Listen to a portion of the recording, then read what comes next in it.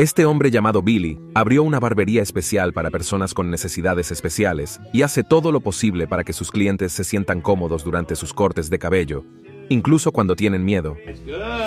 Billy conoce todos los consejos y trucos para lograrlo. Incluso se comunica bien con los padres sobre su proceso para que funcione. You're father authority. I'm barber authority. If he's listening to you, he ain't listening to me. But you're first, right? If he listens to you, he ain't listening to me. You're good. You're good. down, Pop. See, you got it. You got it. You got it. I know it's tough because these are your kids, but I gotta stay within my structure, right? I can't deal with you and him. Otherwise, it ain't gonna work. Once you got that candy. That's why you're here, though, right? Yeah. Because this is my system. So, ready? See, one, two, three. I wouldn't give no candy. Give it to him after he's done. We're rewarding him for standing up. Reward him for sitting down.